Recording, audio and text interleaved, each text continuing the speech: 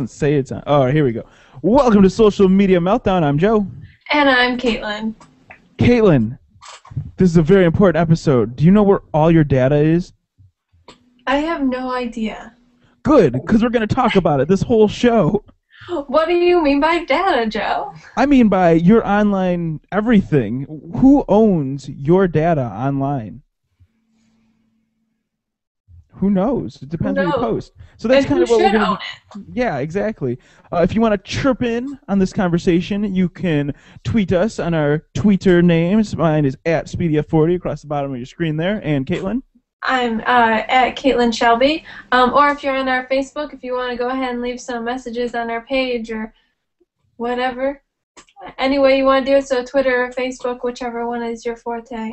Go Oh, ahead that's true. Our, our Facebook page is probably the best place for us because we're constantly monitoring that all through the week.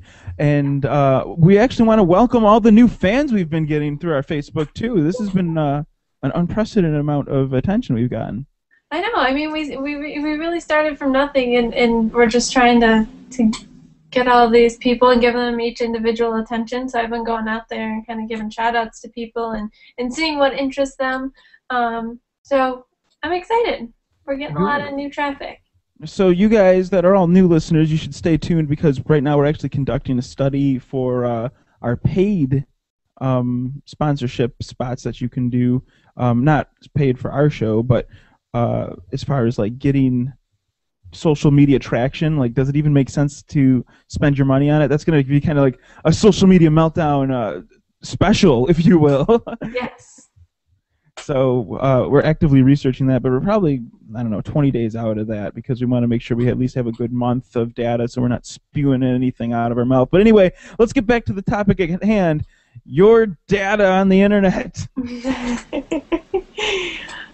So, All right. So where where do you want to start with this topic, Joe? Because I know this was one that you were really excited about. So Well, I wanted to start at the beginning. Um, of you know, it, it used to it used to be uh, on the internet. You post something, and whatever you post is yours.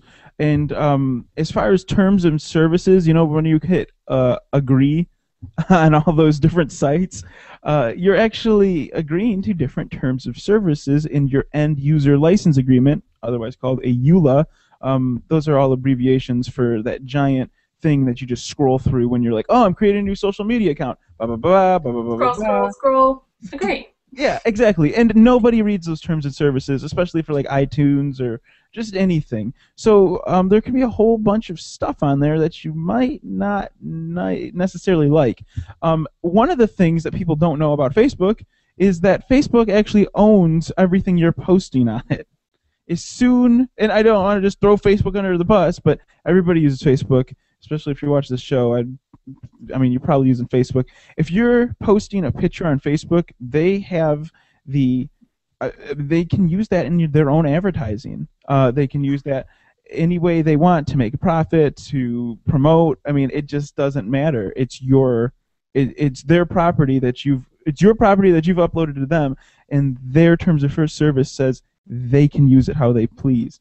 Um, and that also, what was it? Was Instagram doing that too as well? Um, no, so I just looked up Instagram, and, and according to, to what I've been reading, so as long as nothing has changed, this article is about a couple months old. Um, and so, of course, these terms and conditions change all the time.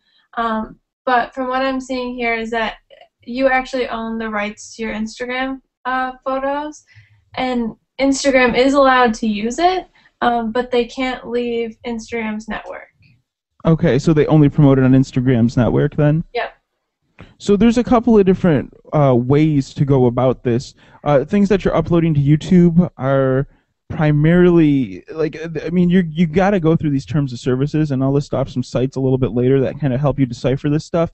But you're what what we really want to push here is data is yours and you're not going to get anything for free. The reason that Facebook is a free service is because is because our data is being used to market towards us. Those awesome little ads that are in the corner of Facebook and are in your stream and Twitter, those promoted tweets, those are tailored to you um, because your data is being mined and you're you're being advertised to as a uh, as a demographic, really.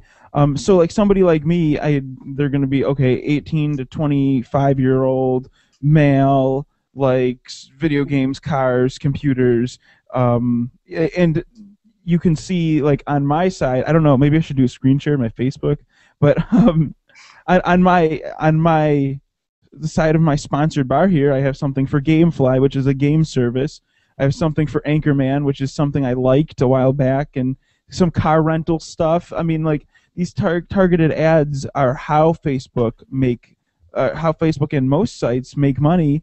Uh, it's it's because of this data that they have, and um, so there's kind of good sites and bad sites also. Um, It's really crazy because uh, since we've been getting so involved with these Facebook ads and doing a lot of this research, you can you can pick how you target your audience when you do these ads, and the amount of things in detail you can drill down to get what your audience is is kind of crazy, and that's how much data they're keeping on every single one of their people. And it- how old are you? Where do you live? Um, do you own a business? Do you like dogs? Very Uh, yeah. You can go. I mean, you can go right down to specific cities and say, I Mhm. want to target. You know, uh, I mean, not even like you know, like Chicago or L.A. or something. You can go down to like um, Saskatoon, right? Like in Canada, is Saskatoon business owners who are promoting, you know, know, wheelchair repair or something. I mean, like it can get like that specific, and um, that that data that happens is not just. I mean, you're you're putting in all this time and energy in to upload videos and pictures and content, liking things. Liking things is a huge way of how uh, how Facebook finds out things about you and knows how to market to you. But this this uh, this kind of giant ball of internet that is you is it's spread out you can't you can't it's it's segmented out like in google um all if you're signed into google and all your searches are all your searches are saved uh your search history is saved how many searches you do a day is saved and um it's i that data is technically your property. I mean, you're making it, right? Mhm. I mean, is it your property? Is it, or is it, you know, like, uh, do, do people just expect to know, like, oh, okay, I'm using a service. I mean, they can, I'm, I agreed to whatever terms. They can use my data. However, I, I No, I think you're, you're making a good point. Is that I don't think people realize exactly what should belong to them and what they should have rights over. So yeah, your search history is an extremely valuable piece of data about yourself that you should technically own. Um, that you're basically giving away for for free. And marketers and um, people doing research and all stuff have access, and they're paying for access to your data. Um, and and you're not making you're not getting anything back from it. Um, unless you have the point of view like me whereas on facebook i would rather see an ad that applies to me than something that doesn't. Um, so that's my benefit is i don't have to waste my time looking at ads that don't matter. Um, so if you see it that way um, well, and I think that's a valid way to see it too. I mean, these targeted. I would much rather see an ad that's completely relevant towards me because they're using the data and what they know about me to personalize an ad. It's much more effective too. So I I think that that kind of use of your online presence is, is perfectly fine. But the the part that I don't like is when a site is going and uses content or makes it sound like your service is completely, you know, sign up is free and you know we don't expect anything in return. We're just, you know, like it, it's kind of a raw deal because if you ask Facebook to take down a picture, they'll take down the picture, Mhm. um, especially if it's private. But if you have a, a current Facebook profile, it's fair game for them to use in their own marketing. And also, even with um, with Google and and a lot of the services like Picasa, uh, it's it's saved and it's on their server, but um, you got to be careful with these terms of service. Let me, I'm gonna pull up and we'll, I'll link it. There is a site that actually interprets these terms of services and says you own this, they own that. The name escapes me right now, but I will uh, link it in our show notes. And actually, the best part, to, the best place to go for that would be our actual um, social media meltdown Facebook page. Um, we'll, that's where all of our show notes go. But one thing that is really concerning about this topic is that it's the, the, there's there's no general way just to say, hey, you know, like I understand this. There's no quick and easy way to decipher. Okay, you, know, this is they're they're going to be able to use my pictures. They're going to be able to use my videos. But hey, I'm getting this awesome whiz bang thing that you know organizes all my cat pictures or you know whatever example it is. I'm just like, and and that's something that Creative Commons is trying to correct. Um, Katelyn, are you familiar with the Creative Commons ways of doing things? Um, not really. I mean, I, I see it come up in different things, and, and so I'm familiar with it, but not exactly, you know, what, what it's all about. So Creative Commons is kind of like a web standard of um, of, of sharing, and it helps people uh, know you know what content is theirs and what content is not theirs. And it's really for for people that are producing things on the internet. Probably people that are watching this show are people that are making content or making uh, photos or pictures or you know they they're producing things for people to use. Um, creative commons is a kind of a great way to protect your your your content. Mm-hmm. And um, what this does is, if you've ever been on a site and you see the little uh, CC in a circle logo, um, you can actually, uh, if you actually go to justcoolenough.com, I know that we have a Creative Commons logo there, and our logo says, you know, you can share it, you can edit it any way you want, you just can't make money off of it unless you tell us about it.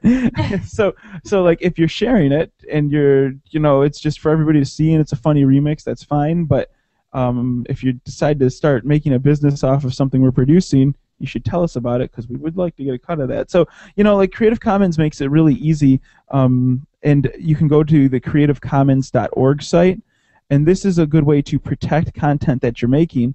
The license is basically is a copyright tool for you, uh, for a producer, and um, you can these licenses they aren't all like that. You can just do uh, non-commercial license or this and that. It, it actually makes it really simple. All you have to do is kind of put the logo there and agree to the terms, the terms that you're creating, mm-hmm. and say, you know, like I don't want anybody to use it for anything unless they contact me. And you could put that on your site, and it makes it kind of an easy to use uh, way to regulate what your your content is able to do on the internet, and actually give you some sort of uh, legal, you know, like a, a sense of. I I I don't want to say because you know like in a, in a in a court of law you know you can say well i'm using this creative commons license and this person made four billion dollars off of you know something that i did.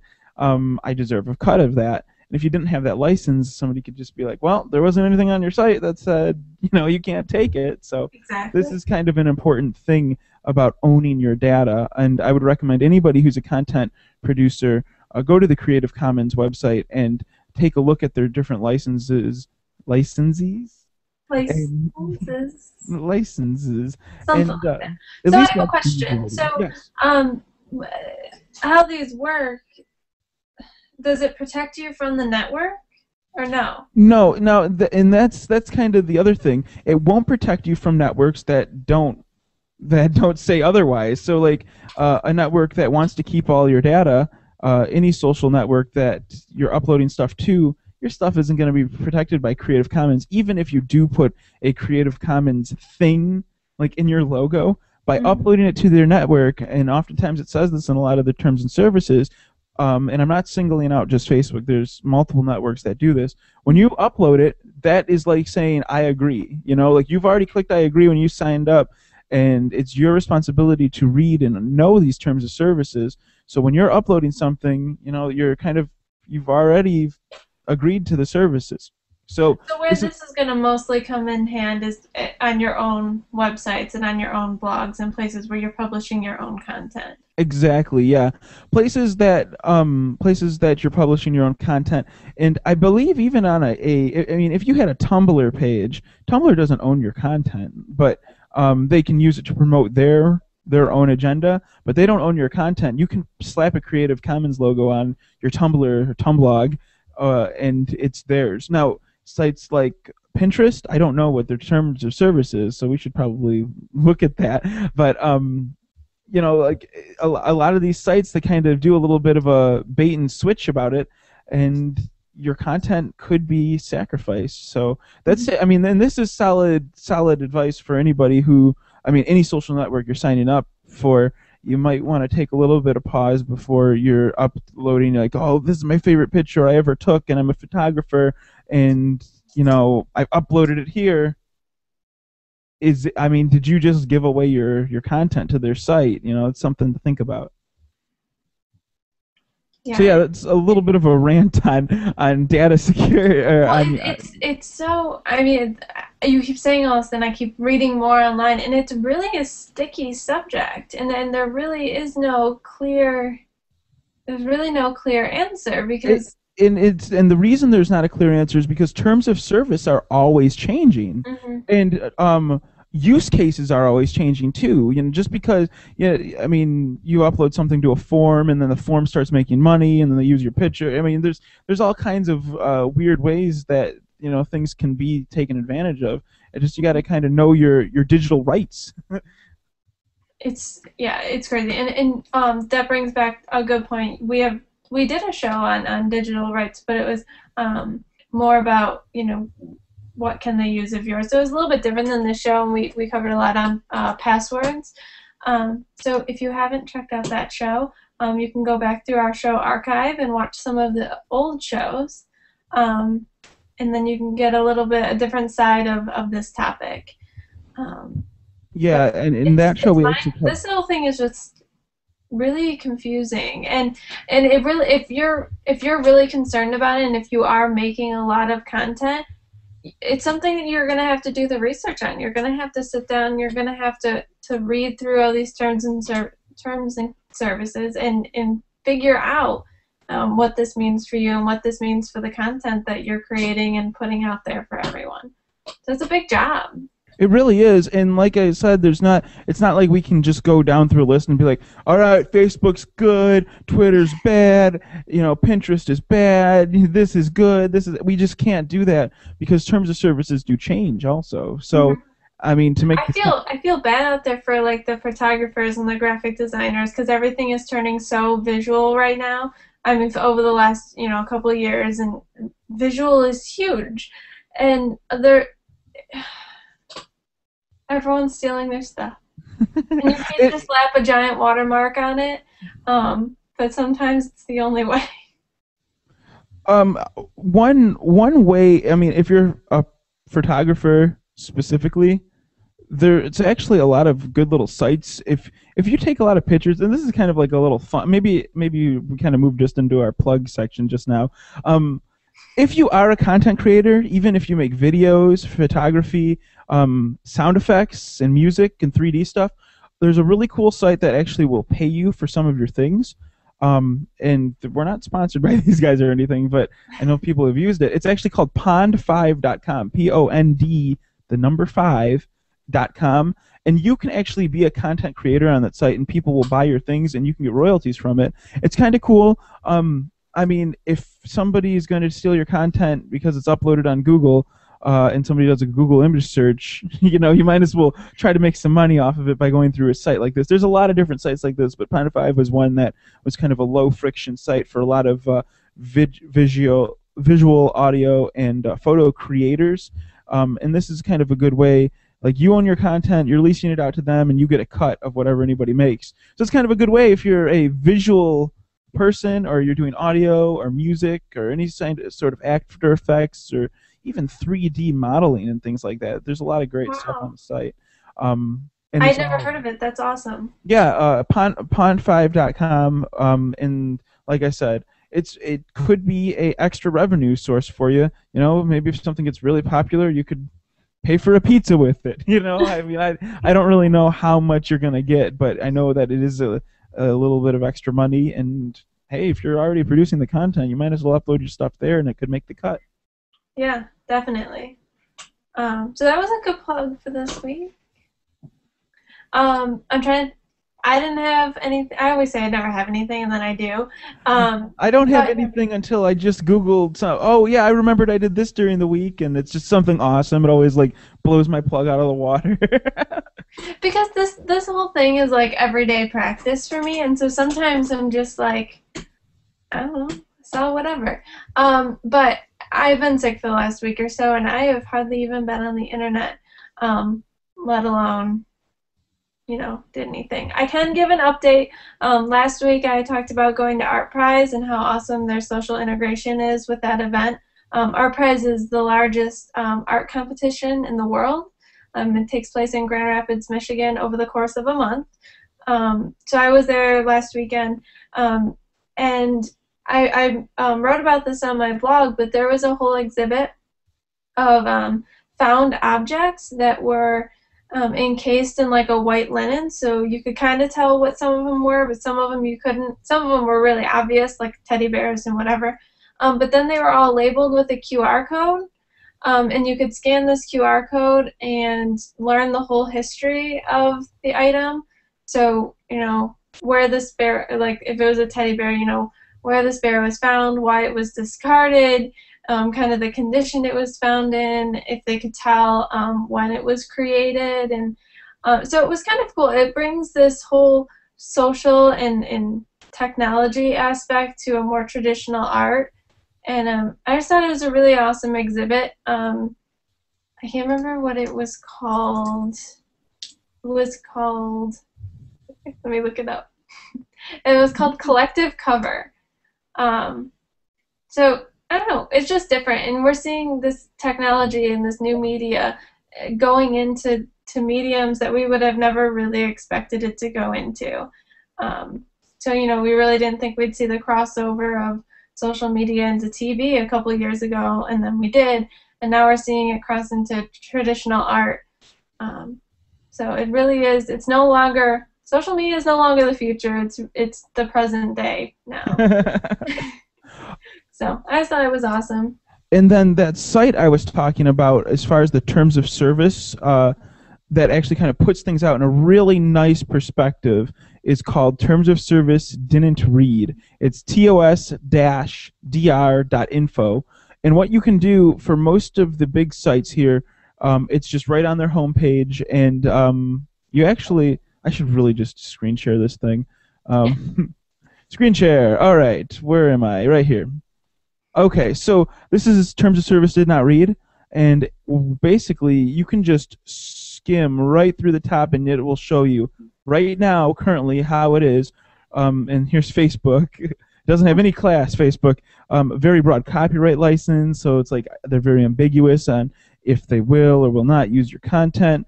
And then also things like um, like Yahoo right here, Wikipedia doesn't allow cookies, but this is just kind of a quick way to see um, what uh, what sites are good and what sites are not so good. But here's one about Twitter.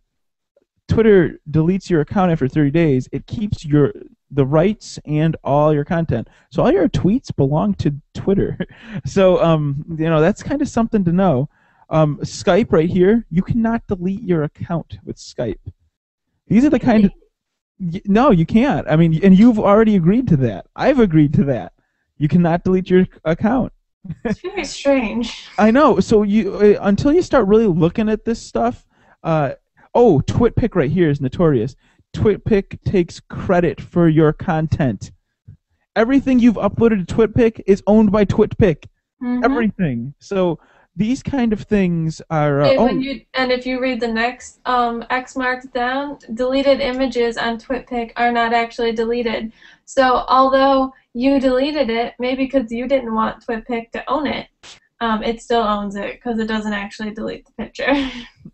Yeah, so you can. Am I still screen sharing here? All right, let me turn that off. So you can um you can see that like it's not all it's cracked up to be. You got to stay aware and um really you know if, you're making content and you're even updating content, it's a good idea to know where your data is going. Um, you know there are uh, they're actually trying this site right here terms of service did not read or tos-dr.info. Um, they actually are trying to work on a class system so you can just know uh, once you go to the site, you can just see like how good are they or how bad they are. So you know they'll have an A rating or an E rating, class A for good, class E for bad, and you know you could just go right down the list and say, oh, they're great, or oh, maybe not so much. So Yeah, that, that's re- that's a really awesome research, and we'll definitely put all the links to you know Creative Commons and terms of service and everything um, in the show notes. Um, so if you're watching this live, if you wait a couple hours, we're gonna post the recorded video along with all the show notes. Um, and if you're watch- already watching the recorded video, um, then you can either head to our Facebook to view the show notes. Um, there's also a link in the the YouTube notes that'll take you right there. So I'd we make it so easy for you. Yeah, exactly. Well, Katelyn makes it very easy.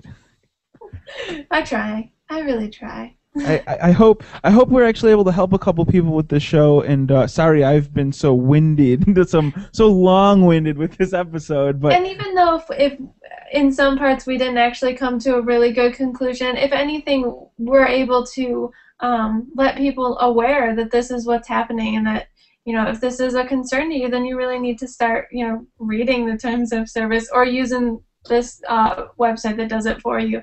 Um, because there's a lot of rights that come along with what what you produce. Exactly, exactly, and and then that's kind of what at least my objective was: just bring this to the forefront and let people know that hey, you know, not everything's as nice as it seems, and you're not getting everything for free. Sometimes you're actually giving content away, so be cautious. But you know, you still got to get out there. You got to get your name out there somehow, right? I mean, at some point you just have to, you know, cut your losses, and if, when you're a big star, then you can keep your own content. make your own terms of service. Anyway, thanks for watching the social media meltdown here. Um, I just wanted to say thank you, Katelyn, for completely redoing everything. We have our own Google Plus page. We have our own Facebook. We have our Twitter feeds, obviously, at Media40, and then at Katelyn Shelby. I'm trying to point over that way. and then we also have um, Social Media Meltdown has its own Twitter feed as well, which is Social Media Melt. Um, and once again, you can find all the information about us at facebook.com slash social media meltdown. Um, find all of our old shows, find the note, notes from today. Uh, everything you could possibly want is on that page. So, one stop shop. Exactly. Well, like I said before, thanks for listening. Goodbye. Until next week. and send your questions to social media melt at social media melt on Twitter. yes. It's not a sandwich. It's like